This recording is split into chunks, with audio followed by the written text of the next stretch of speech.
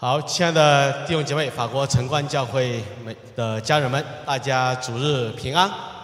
上周我们共同见证了十三位弟兄姐妹受洗归入基督啊，我们因信在基督里呢啊，他们被称为义人了啊。我们当中所有弟兄姐妹一样，我们也因信，我们得到了神儿女的身份。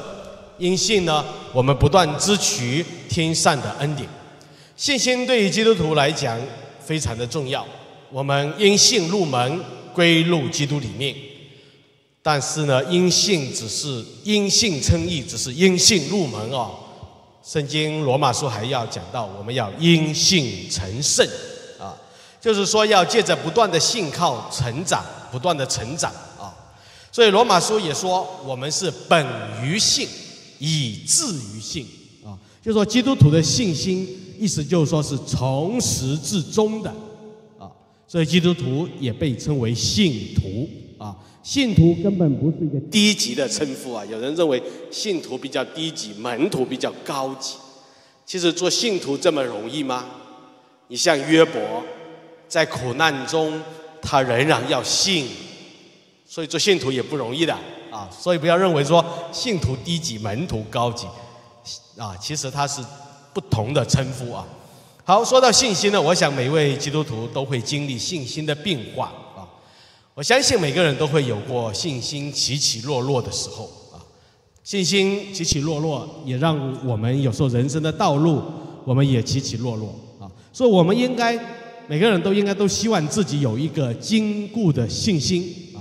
可是很无奈啊，信心我们总是会起起落落，可以说。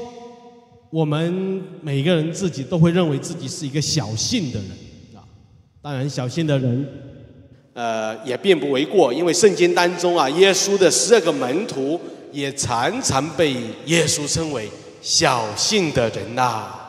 你们的信心在哪里呀？啊，所以在福音书当中呢，也有一些人的信心被耶稣称赞。啊，那么今天我们就学习一段与信心有关的经文啊。我们的题目是：你大有信心吗？这个“吗”就随你念了啊，你怎么念都可以啊。你念成疑问句还是感叹号啊？这随你来啊。啊，你大有信心吗？还是吗？还是吗？啊？OK 啊。好，第二节，我们先来读一下今天的经文，在路加福音书第七章一到十节啊，请。耶稣对百姓啊，一起来，一二三。耶稣对百姓讲完了这一切的话，就进入加百农。有一个百夫长所告贵的仆人，快快要死了啊！大家可以看上面啊，第三节我们一起来啊，第三节，百夫长分闻耶稣的事，就托犹太人的几个长老去求耶稣来救他的仆人。好，我们下一页。好，我们四五六七啊，请这边的弟兄姐妹可以读吗？啊，四五六七，请这边弟兄姐妹来读。他们一起来，一二三。到了耶稣那里，就切切的求他说：“你给他行这事，是他所配得的，因为他爱我们的百姓，给我们建造会堂。”耶稣就和他们同去。离那家不远，百夫长托几个朋友去敬耶稣，对他说：“主啊，不要劳动，因你到我舍下，我不敢当。我也自以为不配去敬你，只要你说一句话，我的仆人就必好了。”好，下一页，我请那边的弟兄姐妹来读第八节，一二三。因为我在人的权下，也有兵在我以下，对这个说去。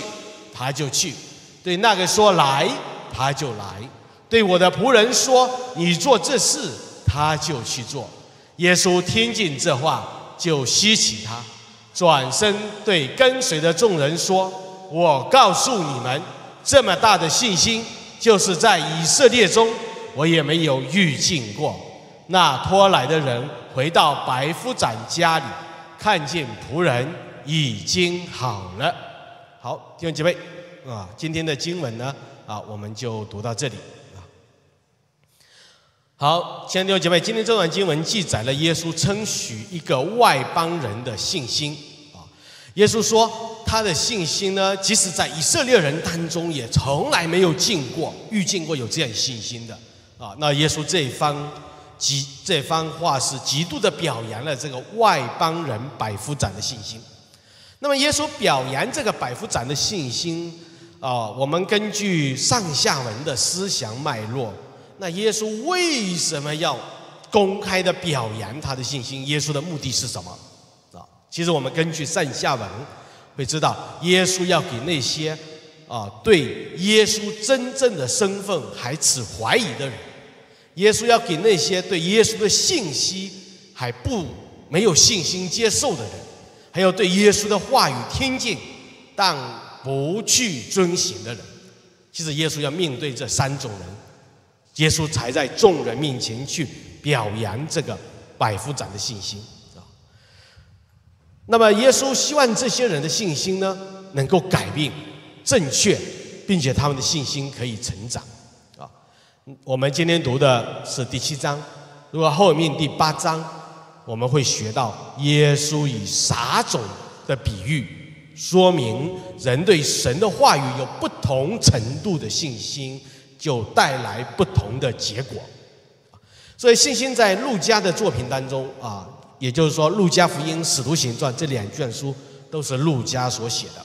在《路加福音》跟《使徒行传》当中呢，信心是一个非常重要的主题啊。如果弟兄姐妹记得的话，看一看我们教会有剧本那个网页呢，我们教会我《路加福音》前面我们讲过好几次信心的道啊，有的有有好几次啊。所以《路加福音》关于这个信心呢，其实就是它的主题。所以耶稣称。称许过许多人的信心啊，比如把一个摊子抬到耶稣面前的那几个人啊，圣经我们学过嘛，耶稣尽他们的信心就医治那个摊子。那么圣经里面在路加福音也提到，耶稣会对有一个有罪的女人啊，这个我们后来会学到那段经文的，还有一个血漏的女人，耶稣都对他们说：“你的信救了你，平平安安的回去吧。”耶稣在路加福音还对有一个长了大麻风十个人当中有一个回来的人，耶稣也说：“你的信救了你，平平安安的回去吧。”那么耶稣也责备过在风浪当中缺乏信心的门徒。那么耶稣也为彼得祷告，因为当彼得经历三次否认耶稣的失败之后，比耶稣说：“彼得，我为你祷告。”叫你失败之后不至于失去信心，这都在路加福音都会有。那么在使徒行传当中呢，我们还看到一些人物，比如说第一位为主殉道的斯提凡，圣经说他大有信心。使徒行传当中还有保罗的同工巴拿巴，圣经也形容他大有信心啊。那么甚至在使徒行传十六章第五节说，教会人数天天加增。是因为信心越发坚固啊，就说教会的弟兄姐妹的信心越来越坚固呢，教会的人数就天天增加啊。我们从这些来看，可见信心对于每一个信徒来讲很重要啊。信心可以叫我们得着救恩，信心也可以叫我们勇敢，信心也可以叫我们的侍奉有果效啊。还有信心的成长也能带来教会的发展。啊，所以耶稣对门徒的期望呢，也是期望门徒信心不断的增长。啊，所以我们从这里会看到，信心其实是我们每一位基督徒一定要每天操练而学习的功课。啊，所以今天我们就透过这段经文，透过对百夫长信心的表现，请大家也对照自己的信心，让我们来思考、来学习：我大有信心吗？啊，我们先来看第一点，百夫长的信心哪里值得我们学习呢？第一，信心就是单纯相信神的话。好，对旁边人讲一下，信心就是单纯相信神的话。啊，所以亲爱的弟兄姐妹，有时我们读经文的时候，有时候要注意啊，经文段落的第一节啊，一段一段当中的第一节，有时候很重要啊。那请大家注意啊，第七章第一节的经文。经文怎么说？耶稣对百姓讲完了这一切的话啊。那这一节呢是讲到第六章，第六章记得吗？我们上次分享过基督徒的伦理道德生活，耶稣叫我们要爱仇敌，对吧？叫我们不要论断人啊，就是还有讲过两种果树，好树结好果子，坏树结坏果子，还讲过两种根基啊，那都是第六章。耶稣讲完了这一切话呢，下面第七第七章第一节说，耶稣讲完这一切话就进入加百农。那么加百农是耶稣福音工作的根据地，是耶稣福音工作的主要城市啊。耶稣大概应该是三十岁就开始布道工作，他就将自己从家乡拿撒勒就搬到了加百农啊。加百农跟拿撒勒不远，但是呢，耶稣的拿撒勒呢还是个小村庄，但是加百农呢是一个商业城市。耶稣就为了福音工作就搬到加百农。所以加百农这个地方就成为耶稣工作的城市啊，因此加百农就发生过很多耶稣的神迹。这个城市的人对比拿撒勒人呢，这个加百农这个城市的人对耶稣呢更有信心啊。耶稣是结束了他的平原的讲论，结束了关于天国伦理道德生活的教导，在这之后，耶稣才进入加百农。那么接下来我们看啊，第一节说耶稣说完了这一切话，耶稣进入加百农。那请大家读的时候，我们想，作者写的时候，从他写作的作者的思想来推理的话，那接下来作者要记载的事件，是不是跟神的话有关系？那一定嘛，对不对？是不是跟相信有关系？那是一定嘛，啊，所以接下来信心。就成为路加福音第七章跟第八章的主题啊，所以你看第七章、第八章，你要用信心这个主题思想去读那两章经文啊。所以这样一位非常有信心的百夫长就进入了路加的叙事当中啊。圣经说，百夫长有一个宝贵的仆人生病，快要死了。那圣经说生病快要死了是什么意思？就是相信病情已经很严重，快要死了。这个快要死的意思说，以医生的能力肯定没办法救他了，啊，一定是这样。那么这个时候呢，这位百夫长他就托犹太人当中的几个长老去请耶稣啊，说那在这里我们想了，这个百夫长为什么他会想到去请耶稣呢？这个百夫长认识耶稣吗？他跟耶稣是朋友吗？啊，他为什么在这里说他还要托犹太人当中的几个长老去啊？为什么耶稣呃这个百夫长为什么不自己去啊？首先，我们从经文中我们会发现啊，这位百夫长第一他不认识耶稣；第二，这个百夫长很显然这个名称是罗马的军官，叫百夫长。那么罗马的军官百夫长啊，就是一个外邦人，所以当时外邦人跟犹太人呢，他们因为宗教信仰的原因啊，这个犹太人跟外邦人他们其实是有分别的，意思说他们平时是有距离的，你是犹太人啊，我是外邦人，是有距离的啊，所以可能这样的原因呢，啊，这个百夫长作为外邦人呢，去请耶稣呢，不不太好意思。啊，或者说也不认识耶稣嘛，他就托托人，就托了犹太人当中的几位长老去请耶稣啊。那这样子也是我们的生活中的经验嘛，总会请一些身份尊贵的犹太人去请犹太人耶稣，这样应该说得过去，对吧？那么百夫长既然不认识耶稣，我们在想啊，他连耶稣都不认识，为什么会在仆人病危的时候？请耶稣来救他的仆人呢？啊，那圣经怎么说？圣经说，百夫长是风闻耶稣的事啊。中文说风闻，他意思就是说他听进耶稣的事，他只听过哦，还也不是直接听耶稣说过，没有听别人说过耶稣的事，是吧？只是听过，意思说他只是听过耶稣的一些神迹，但耶稣的面从来没见过。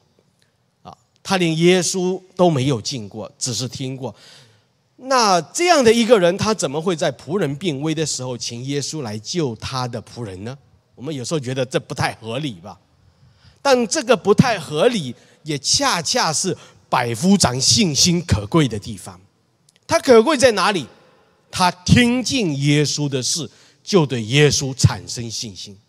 他因听进就可以对耶稣有信心。所以百夫长在仆人病危的时候，请耶稣来呢？啊，有人说：“哎呀，百夫长最后请耶稣，是不是说啊，死马当活马医嘛？最后没有办法来试试看啊？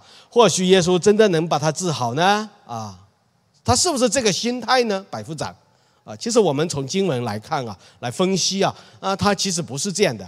百夫长是相信耶稣能够救他的仆人，因为经文很清楚的说，求耶稣来救他的仆人。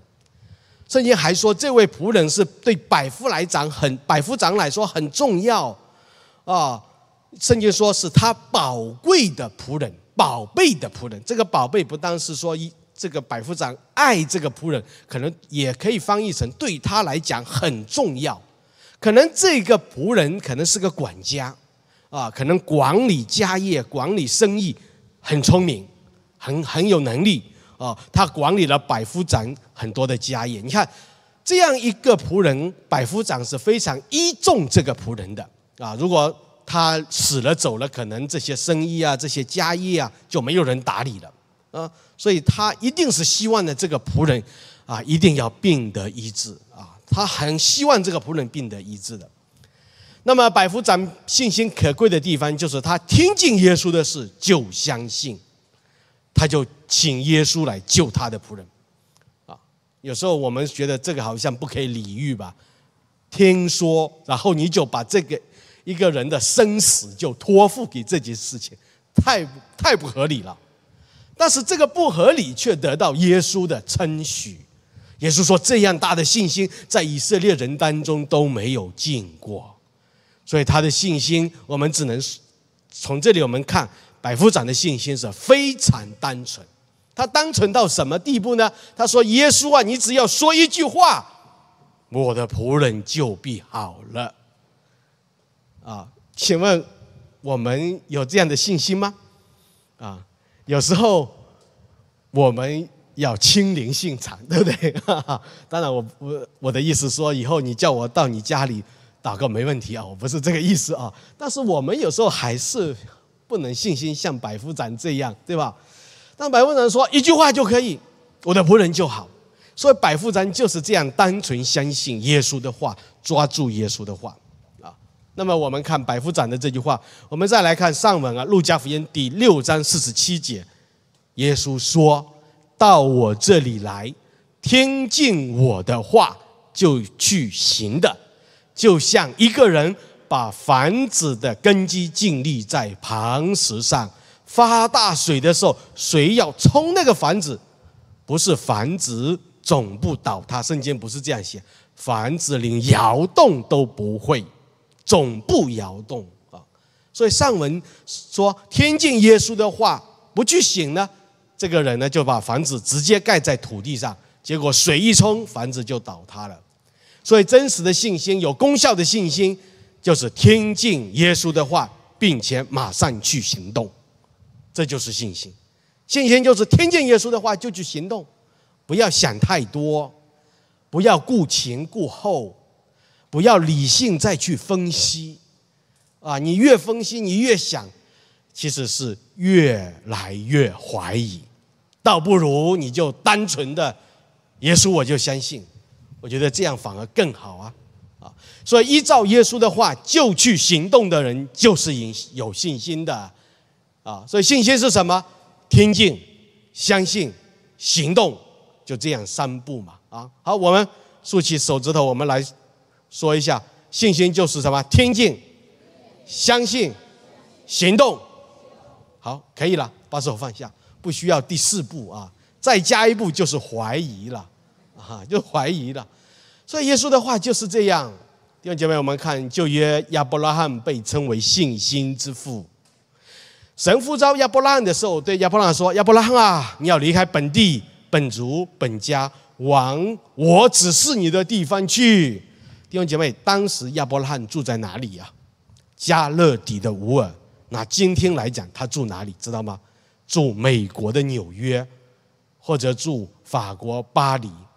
还得是富人区啊，不是穷人区啊，他当时是世界最富有、经济、政治最强的城市乌尔，要不让你是住那个地方的。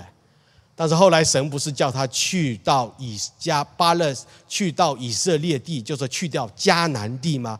当时的迦南地什么是不毛之地呀？是一个荒蛮之地呀，不可能跟乌尔比的。就是意思说，今天神叫你离开巴黎去非洲部落里面，你去不去？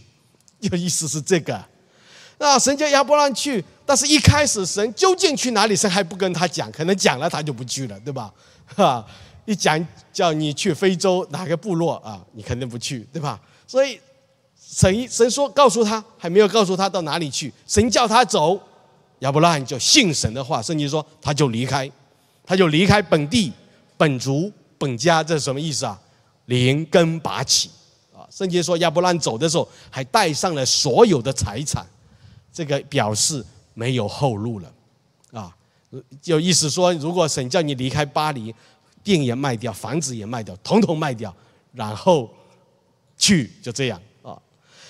但是亚伯拉罕信神的话，他就马上行动，所以他离开的时候，他也不知道去哪里，只知道神说往我指示你的地方去。所以亚伯兰走的时候，对于将来他看不见，他不知道，然后呢，没有回头路，怎么办？亚伯兰还是走，相信神。所以亚伯兰就这样因信就得了神丰富的祝福和应许，所以亚伯拉罕就成为多国的父啊，就像今天中东这些都是亚伯拉的后代啊。他成为多国之父，他不但是多国之父，神借着亚伯拉还成为世界的祝福。今天我们信耶稣，跟亚伯拉都有关系，是神跟亚伯拉立约，才把耶稣基督赐给我们的。你看亚伯拉得了神这么多的祝福，怎么得的？很简单，信神的话，就得这么多祝福。所以弟兄姐妹，对于神的话，不要怀疑，也不要担心，也不需要。用人的理性去求证，神以他的话创造万有，万有都是以他的话才存在的。那请你就相信神的话吧，对吧？神的话是创造万有啊，你就相信吧。啊，圣经很多经文，我们看圣经很多都是叙事文，叙事文意思说圣经读过来有很多都是故事，对不对？啊，都很多都是故事啊。那圣经记载为什么要写故事呢？其实意思就是说，他要把耶稣做的事写下来。你看福音书也是很多耶稣的神迹。那圣经为什么要写故事这样的方式写呢？他这样写作的目的呢，就是说，当我们去读这些故事的时候，那个人物他当时碰到什么困难，他碰到这个事情，他心里是怎么挣扎的，或者说他碰到这个事情，他有这么大的困难，他是怎么信耶稣的？就是说，我们去赌的时候，其实他为了就让我们带进去，就说你的感情，你会把自己的人生故事会跟那个带进去。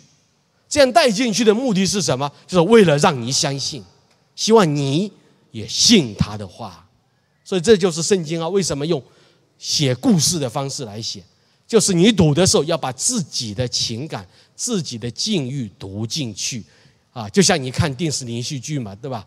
呃，看爱情言这个言情剧就哭嘛，对吧？很多姐妹是哭的嘛，对吧？哈，然后呢，呃，或者说弟兄看那个呃间谍啊，呃，对吧？这个啊里面怎么猜忌啊？所以看你要看连续剧要看的很有意思，你要把自己放进去，对不对？你觉得想象我就是那个很帅的男主角啊，或者说就是很帅的那个女主角。对吧？你把自己带进去看电视连续剧才有意思的嘛，啊，意思就是说，圣经为什么写故事，就是你要作者的意思说，你要把自己读进去，然后你也要随着故事的发展，你也要相信哇，神啊，你在他身上这样做，你在我身上也可以成就，这就是你要读圣经读到读出来的信心啊。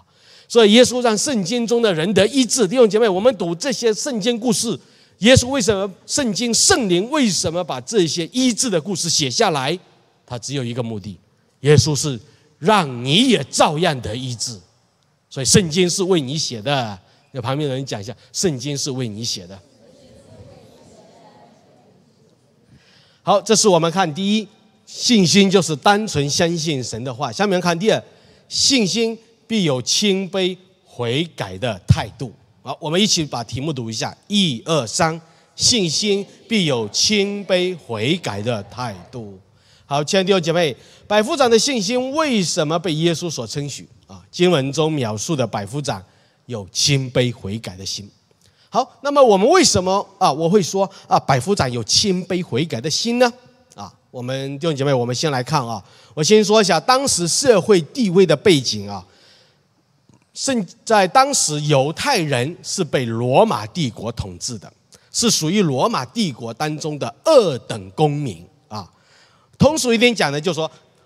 犹太人是犹太地是殖民地，是罗马帝国的殖民地，那犹太人就是二等公民了，对不对？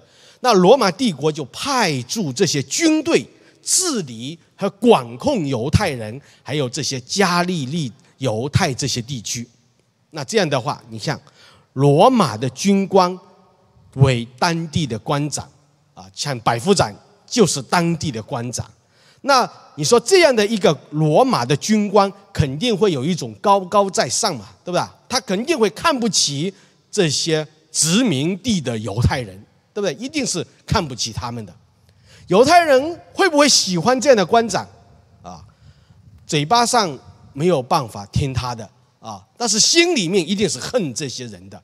你们这些人霸占我们的土地，这样欺压我们，对吧？也是不喜欢的。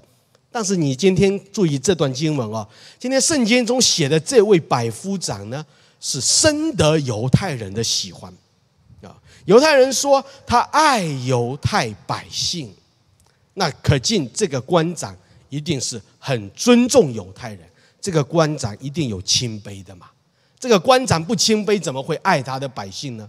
对不对？他如果骄傲高高在上，只有欺压他们嘛。哦那还有，你看，百夫长请犹太长老去求耶稣，他为什么请犹太人还有尊贵的长老去请耶稣？你就可以看得出来，这个人谦卑不谦卑？他意思说，我去请耶稣不够资格，我要请身份尊贵的长老去，还要请好几个去请耶稣，所以他把耶稣看得很高嘛，对不对？他把自己看得很低嘛。哦，所以这个也可以看出他是很谦卑的。然后他说呢，他去请耶稣没有资格。然后他说，如果劳动让耶稣这么辛苦啊，来到我家里也是不配的。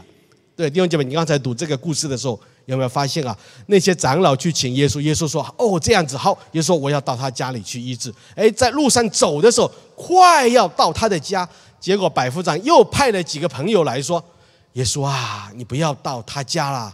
百夫长说了，你到他家，让你这么辛苦走过来，他说不配，不配呀。他觉得请耶稣到他家也是不配的，让耶稣这么劳动辛苦不好啊。还有，他也说自认为自己来敬耶稣也是不配的。所以这样，我们逐进这位犹太官长的谦卑。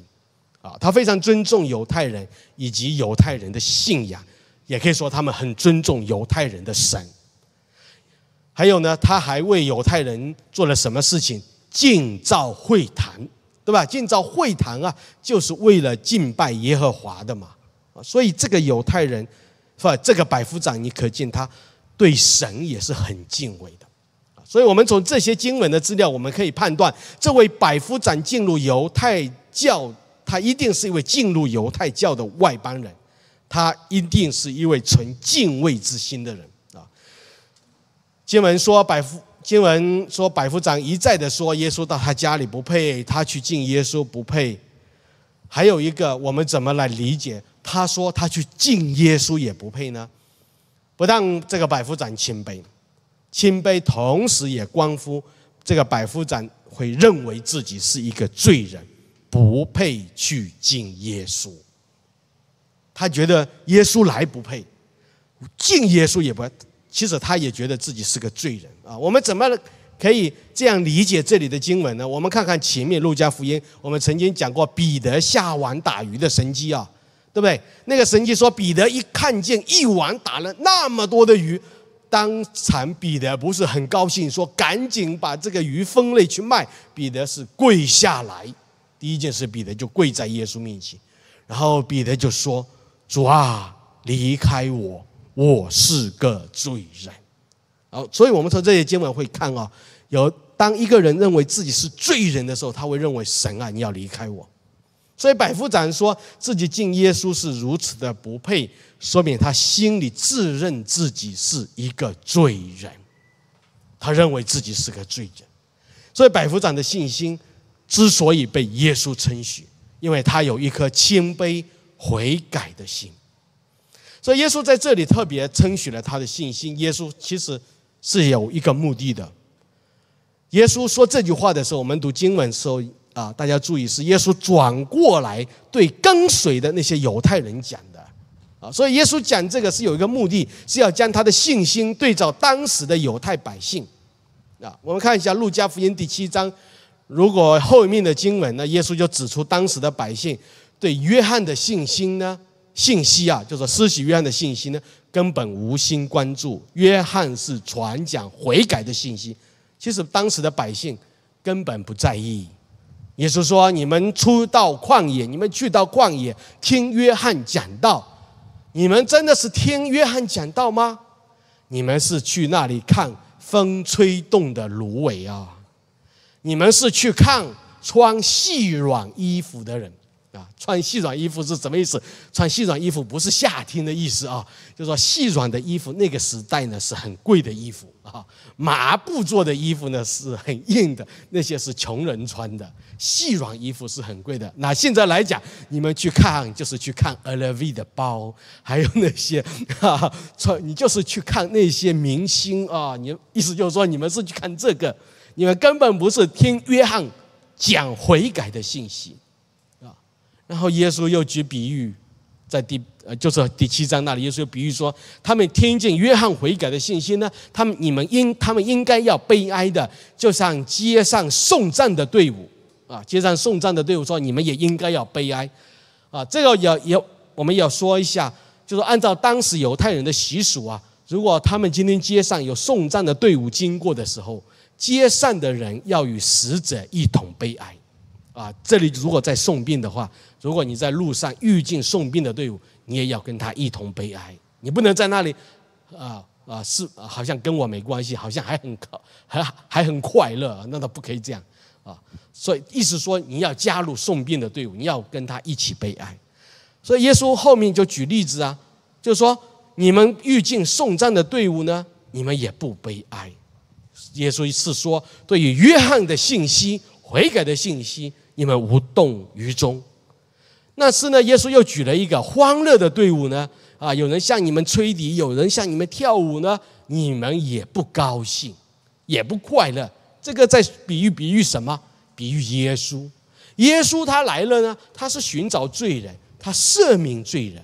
耶稣还和罪人一同快乐、欢乐的吃饭。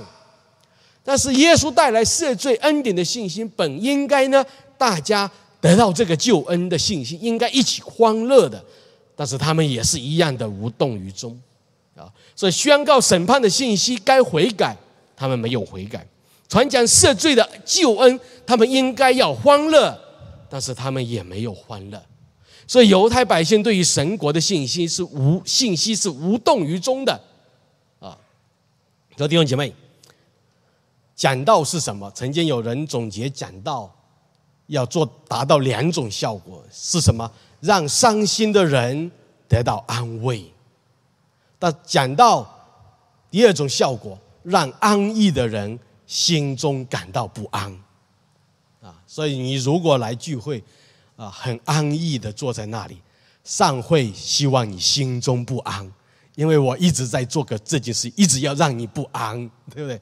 如果你很伤心的来，我一直在做一件事情，让神的话安慰你，让你得到安。这是讲道啊，所以百夫长的信心还可以对照那个平行的段落，我们再对照路加福音第四章二十七节，耶稣在自己的家乡被人拒绝，为了指出他们心中刚硬不悔改，耶稣当时举了一个例子，举了一个什么旧约新知以利沙时代。耶稣说，那时候以色列中有很多长大麻风的，一个也没有得洁净。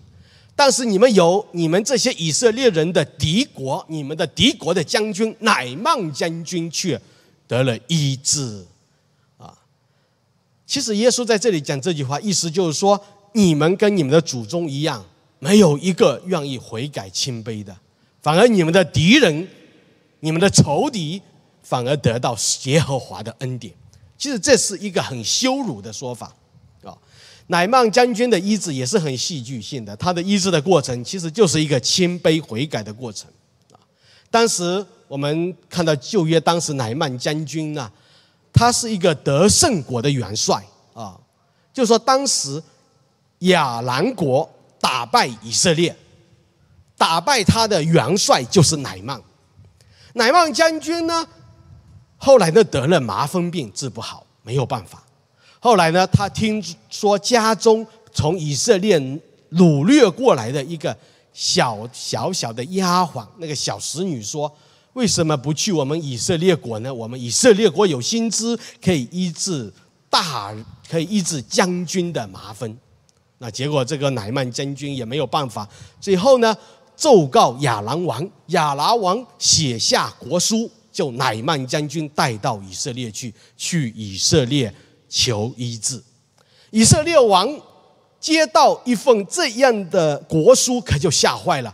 这哪里是来求医治啊？是不是给我出难题啊？治不好就要发动战争？哇呀！国王吓坏了。当时的薪资呢，是一粒沙。伊丽莎知道了呢，伊丽莎叫国王不要害怕，叫乃曼将军到我这里来，然后乃曼将军呢就到伊丽莎那里去，乃曼将军就带着车马啊，意思说带着他的，他肯定有随身护卫军队的嘛，对吧？他带着车马就到了伊丽莎的家门口。后来的事情，伊丽莎呢，这个先知伊丽莎自己不出来，他就差一个仆人出去。然后这个仆人就告诉乃曼将军：“请你去约旦河洗澡洗七次，洗完之后麻风病就好了。”乃曼将军一听，这个生气了啊！为什么生气呢？啊，圣经说啊，乃曼将军心里是这么想的：我一去，心知一粒沙，噔噔噔噔噔就跑出来，对不对？然后说：“哎呀，很恭敬迎接我啊，肯定说。”为我祷告，对吧？可能为我按手啊，还给我膏油啊，对吧？肯定是这样子吧。应该待我尽心尽力的要为我祷告、为我医治的吧？哪里搞一个仆人出来，自己还不出来？结果出来呢，不是为我祷告，也不给我膏油，结果呢，叫我去约旦河里洗澡洗七次，这不就是羞辱我吗？啊，我脱光衣服啊，洗一次再上来啊，然后，然后再脱光了再下去。洗七次没有好，我不就是成了天下的笑话了吗？对不对？他是一国大将军啊，他是战胜国的元帅呀，哎呀，他是头号人物啊！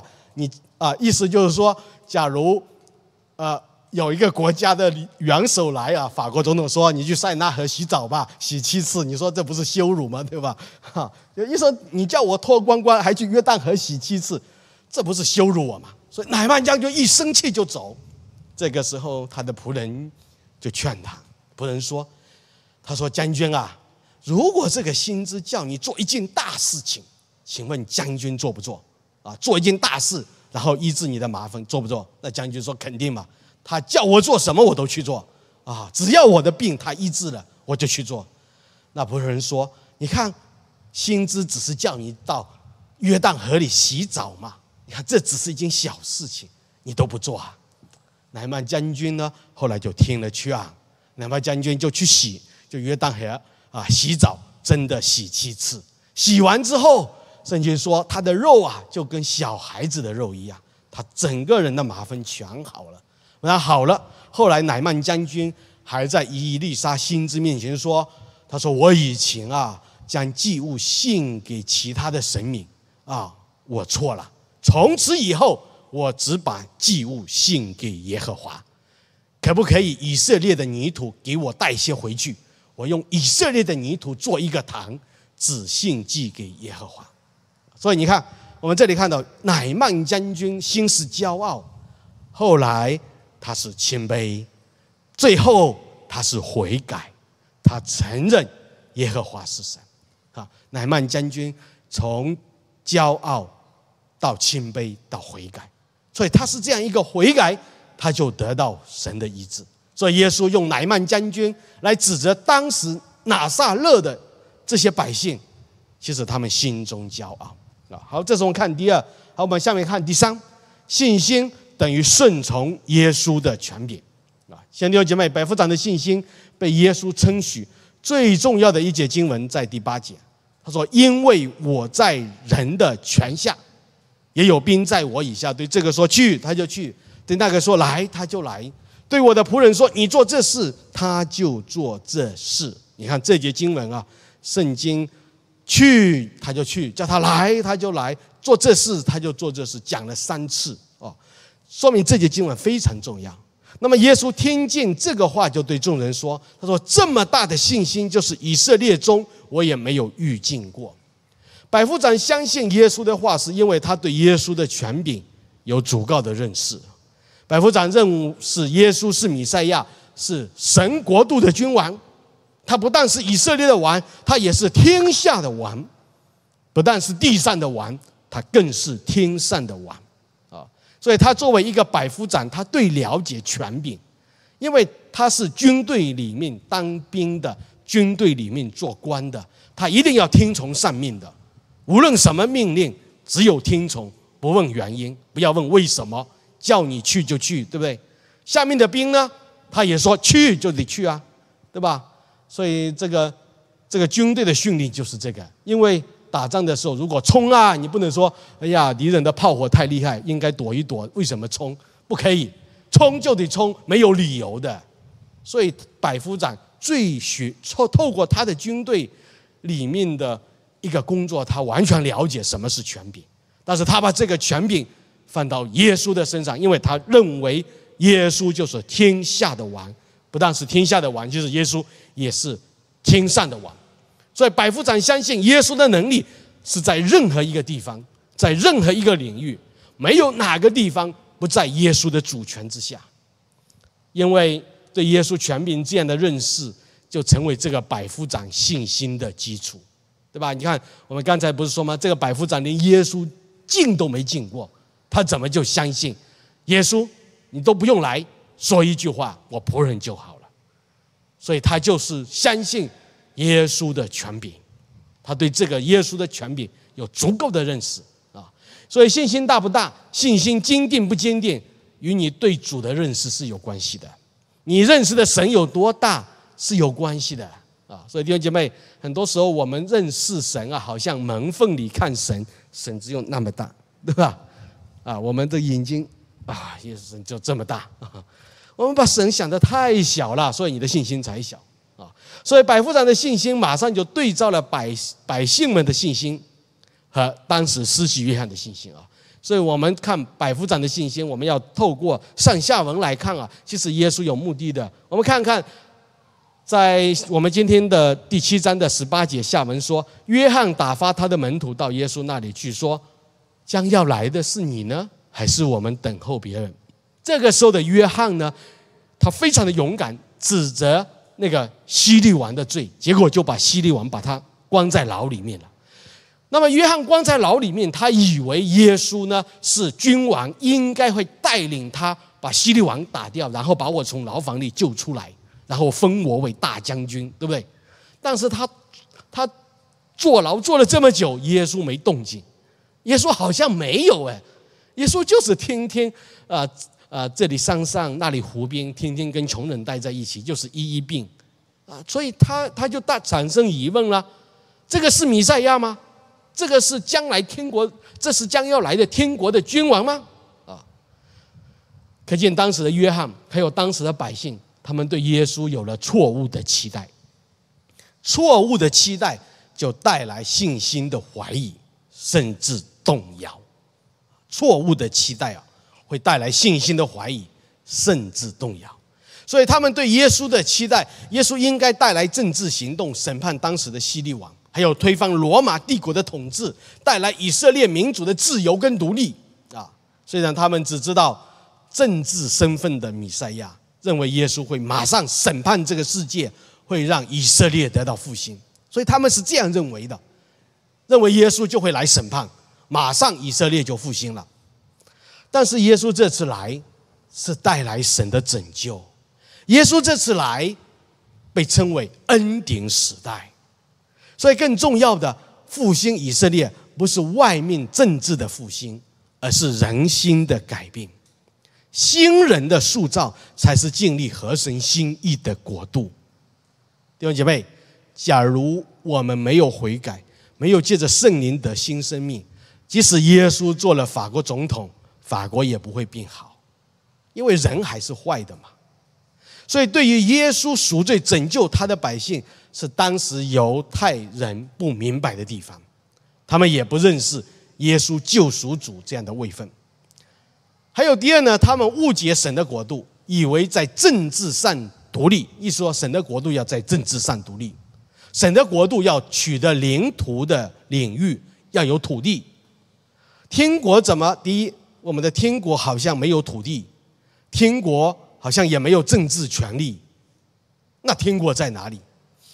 弟兄姐妹，这是我们对神国度理解的错，理解的重点不对。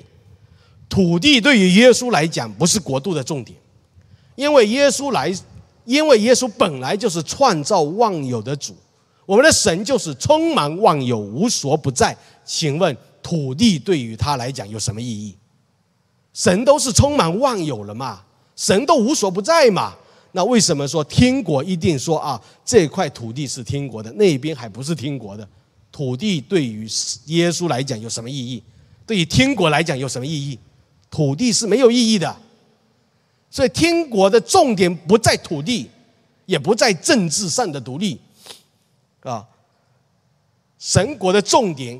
是在于神在人的心中的主权，这才是天国的重点。神的国度的重点是神在你的心中有没有权利？意思就是说，神在你心中说话算数不算数？算数不算数啊？问一下旁边的，神在你心中说话算数不算数？答案是什么？算数啊，OK，神在你心中说话算数是吧？那你要听神的啊，哎呀，神叫你干嘛就干嘛啊，那说说话算数了啊。你看，天国的重点是这里，国度的重点是这里，神在你的心中要有主权啊，不是土地啊。所以我们看亚当跟夏娃吃分别善恶树的果子，他无非就是不想让神做他的主。让自己做自己的主，就是这意思。人成为罪人，就是说我这个人不被神管，这就是这就是这个动机嘛。你看，神充满万有，一切都是神所造的，结果人还说我这个人神你管不了啊。所以有有，所以有有时候我们看看我们父母养育孩子，有时候我们的孩子也是这样长大了，也也有一点点叛逆心理。我的事你不管不了，对吧？啊，这个青少年反叛期就是这样，爸妈说什么，他就是跟你反对。他说我的事你管不了，啊，或者人就是这样，我们的我的事神你管不了。那天国的实性，天国进的是什么意思？就是说你的内心重新被神管，神说了算，这就是天国，就这就是天国进。所以信心就是顺服神的主权，把自己完全交托给主，把人生主权交给主，完全交给主，啊！但是有时候我们说，哎呀，完全交给主，反而会让我们很害怕。我们在信心上总是说，神啊，有一部分给你管，另另外一部分还是我自己管，对吧？或者有时候我们口头上说，主啊，这个事情啊，交给你了，你做主啊，帮我解决啊，但是一会儿。祷告一结束，我们又在想：哎呀，这个事情该怎么办好呢？啊，这个，啊，我们又又天天在想，对吧？然后我们祷告说：神啊，交给你，相信你，你管理到底，你管是最好的，完全听你的。然后祷告结束了呢，哎呀，这个神不知道有没有听见啊？这个神是不是会答应我的祷告，还是不答应呢？哎呀，所以我们常常这样啊。所以因为这样，我们心中反而没有平安，不能把主权交给主，因为我们对神的认识不能也只是在知，不能只在知识上，而是要经验到神的带领和恩典啊。所以我们的信心的成长是在实际生活当中，你需要经历神啊。所以我会常常让弟兄姐妹要讲你自己的故事，在小组里分享你的故事，你经验到神很重要。这样你的信心就会成长，对吧？我看这次的受洗也有很多弟兄姐妹在受洗那一天经验到，或者有圣灵的工作，或者说内心的感动啊，其实都是圣灵的工作啊。其实这都是你在实际当中经验到神啊。弟兄姐妹，我们的神是良善的，良善的意思说神总是好的，他不会做坏的事。这件事情一定要知道。还有呢，神是慈爱的，他是爱的。所以你在神面前一定要装可怜，好不好？啊，你要可怜，一可怜，哎呀，心神的心就软了。还有神的旨意一定是美好的，神会有不美好的旨意吗？你认为如果神有不美好的旨意，错，这样的神是不符合圣经启示的神。神的旨意是美好的。还有圣经说，神的旨意，神的意念高过我们的意念。所以你想事情是这样，你想不如神想。神有他的看见，你只是你的看见，对不对？所以我们还有一点，我们从圣经也看，将来总是美好的，因为整本圣经到启示录，最后神是得胜的，将来是美好的，所以这些都会成为我们信心的一个认知和基础啊。所以百夫长的仆人相信耶稣一句话，他就回家，回到家，仆人的病就好。弟兄姐妹，你想象一下，你就是那个人跑过说：“耶稣啊，我家主人说了，你这个不要到他家，你一句话，我家仆人就好了。”耶稣啊，你说吧，对吧？你如果是那个仆人，你你真的这样做吗？啊，你真的愿意相信吗？啊，好，下面我们最后我们看看第四，信心表现出敬畏神的生活啊，亲爱的弟兄姐妹，这段短短的经文突出了百夫长向耶稣话语的信心的同时啊，这段经文。你读过来的时候，有没有觉得这个百夫长是个好人哎？百夫长有好的品格。你看短短的经文，我们就知道他是一个好的官长。第一，他很在意自己的仆人。你看他的仆人生病啊，他这么在意，还请了那些托关系叫几个长老去请耶稣。他这么在意自己的仆人。第二，他爱百姓的，他是一个爱百姓的官长，他爱犹太人。第三，他为犹太人建造会堂，所以他是一个敬畏神的人。第四，他非常的谦卑。作为罗马的军官是非常难得的，作为军人是很难得的谦卑啊！啊，真的啊！所以这些品格是十分的美好。他的品格其实也对应了上文第六章。第六章，耶稣说关于神子民伦理道德的教导。爱仇敌，你看百夫长有没有爱他的敌人犹太人，爱他的百姓？他们有他有有有没有爱卑微的仆人？他有，对不对？所以他是一个爱仇敌，他的生命的品格有这样啊。谈到这个时候，我们再来看陆家在另一部作品《使徒行传》当中啊，第十章也记载了一个百夫长，那个百夫长叫哥尼流。哥尼流在祷告中领受神的命令。要他差遣人去请彼得来讲道，这是基督教历史上彼得第一次向外邦人讲道，啊，所以经文在那里也非常强调了哥尼流的品格。圣经说他是一个敬，他是一个虔诚人，他敬畏神，多多周济穷人，常常祷告神，是这样的一个人。所以作者这里也将哥尼流跟对神的经文和对人的爱心啊。在他的经文中把它平行起来，啊，可见作者陆家是有意将生命的果子和信心关联起来。我觉得这就是陆家的神学思想。陆家的神学思想要告诉我们说，信心要跟生活的果子是相关的，有信心要结出信心的果子来。真正的信心必结信心的果子，真正的信心。他的伦理道德生活会像耶稣说的那样，啊，真正的信心一定是有一个悔改的果子，啊，也是圣灵的果子啊。所以我们要查，我们如何看一个基督徒是否是一个真基督徒，是否是一个真有信心的人？我们需要透过他生活的果子，看他是不是有真实的信心。对吧？我们看教会有一些人，好像看起来很有信心，他的祷告啊，好像很虔诚，看起来他的祷告词也听得出来，好像大有信心，但是生活中却没有竞争。其实这样的人要知道，他不一定有那么大的信心，他的信心被他的祷告夸得太大了啊！所以路恰在这里就把真实的信心跟生活的果子就连接起来。啊，一个真有信心的人，慢慢慢慢的，他会结出生活的果子。啊，这也是上文耶稣的教导：好树结好果子，坏树结坏果子。有信心一定是好的，好的一定结好果子。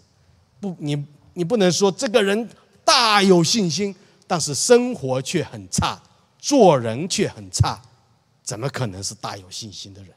怎么是信靠神、敬畏神的人呢？对不对啊？所以信心一定结出生活的果子。对旁边人讲一下，信心一定结出生活的果子。好，弟兄姐妹，因此我们可以得出一个结论：信心对于基督徒来讲很重要。信心能表现基督徒生命的情况，信心的成长能带来生命的成长。所以我们常常讲基督徒啊，生命要成长，灵命要成长。那怎么成长？什么是基督徒生命成长、灵命成长？其实信心成长就是生命成长，就是灵命成长啊。所以信心也带来生活的果子。